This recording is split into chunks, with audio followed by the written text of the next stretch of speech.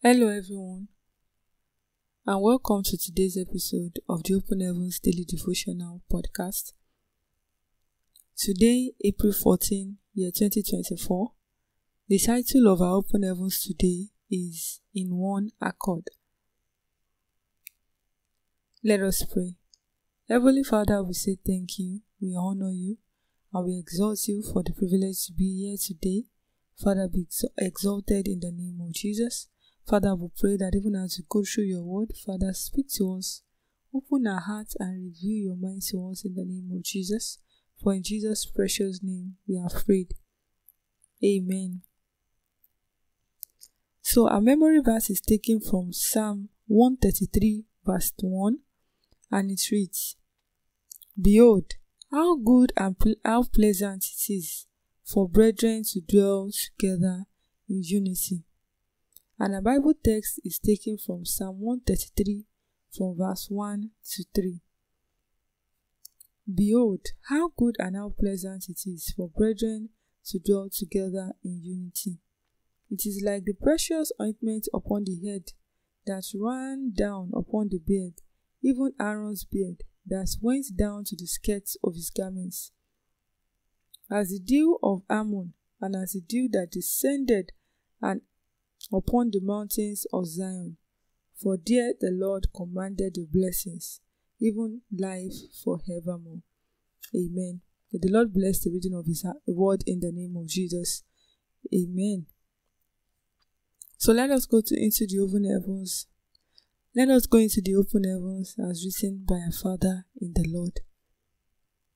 God loves unity.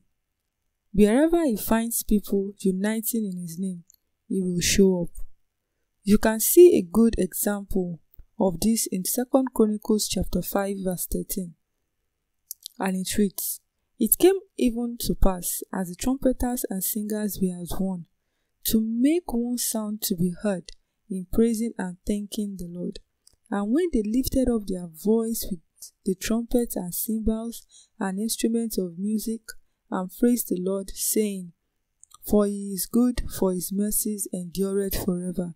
That then, that then the house was filled with a cloud, even the house of the Lord. In the above passage, as the trumpeters, singers, and musicians all sang as one, God's presence came down like a cloud and filled the temple. God loves it when children worship Him in one accord. This is why Jesus Christ said in Matthew 18, verse 20, where two or three people are gathered in my name, there will I be. At the upper room in Acts 2, the Bible says that when the people were in one accord, the Holy Spirit filled the room with a sound like a mighty rushing wind. Wherever believers are gathered in unity, God will show up in His glory. Today's Bible reading tells us that when brethren come together in unity, it is like the anointing oil that was poured on Aaron's head, which went all the way down to his feet. Do you know what that means? It means that it is only when God's people are united that the anointing can flow amongst them. Without unity, the corporate anointing will not flow. The reason many churches are not experiencing the power of God amongst them is that they are not united. Where there is gossip, strife, and backbiting, don't expect the power of God to flow. These vices are not of God, and so God cannot be where they exist. 1 Corinthians chapter 12 verse 12 says that we are all different parts of one body. If the hand is envious of the eyes and the leg is keeping malice with the head, how can the body function effectively? When we become united in a local assembly and in the body of Christ as a whole, we will see great miracles amongst us that will amaze the whole world. If you are a pastor reading this now, you should ensure that all form of strife amongst workers or members of your local assembly are resolved today. Hallelujah.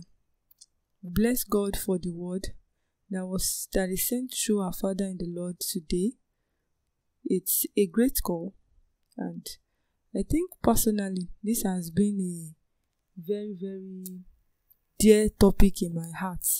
It's a dear topic in my heart because I've noticed that the body of Christ, there is this strife, there is envy, and we don't have unity.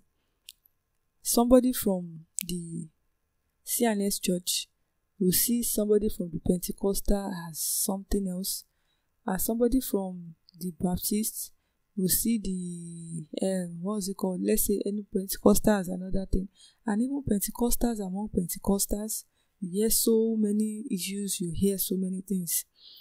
And I say that the Bible said that a house divided against itself cannot stand.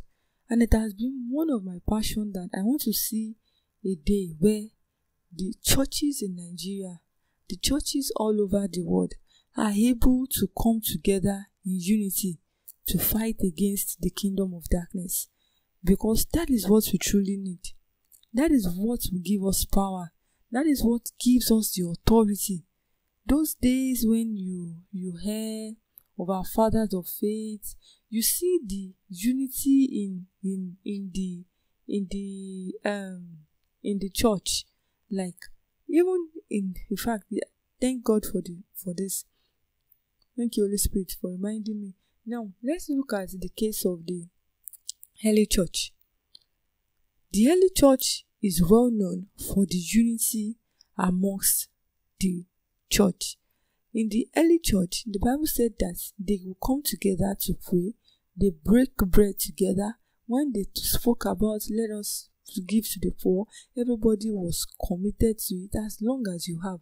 They give to the poor. When they say let's do this they give to it. There is this unity such that if you look at the churches that letters were written to in the new testament by the apostle paul there are churches in provinces that were wide and even bigger than countries today. But he was able to write to those places because there is this unity amongst all of them and there was nothing like oh this church is for paul. Like when the um followers were fighting oh and for apollos and for paul. And paul said there is nothing like and for apollo or for paul.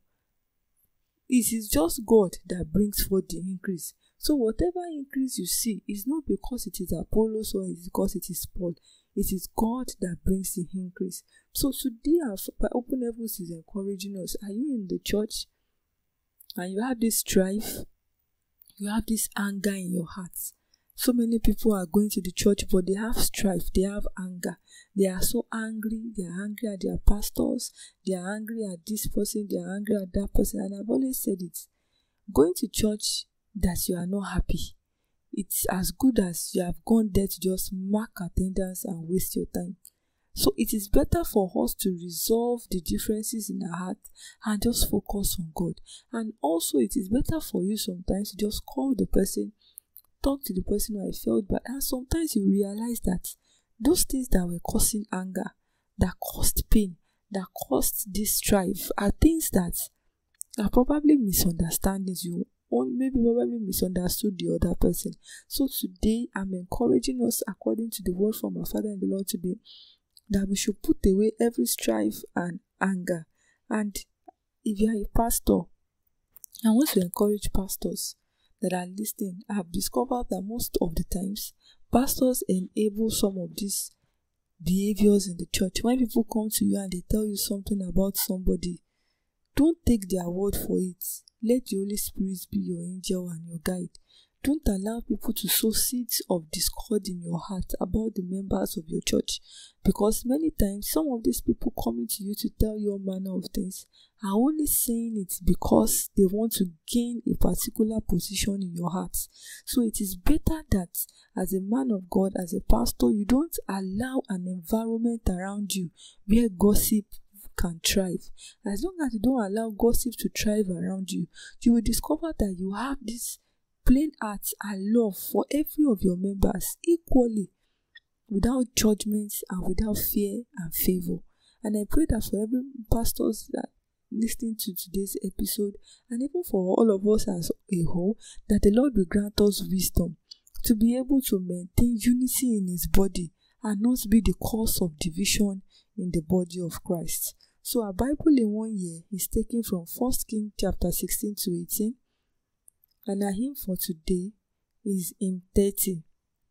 Our action point for today Call a member of your local assembly and say, I love you with the love of Christ. God help us in Jesus' name. Amen. So thank you for listening to today's episode. Don't forget to like, comment, and also share to a friend and share to your family members the word of God for today. And remember, if you have not subscribed to this podcast, kindly subscribe to this podcast and also follow us on all our social media handles. Thank you for listening. God bless you and have a blessed day. Bye.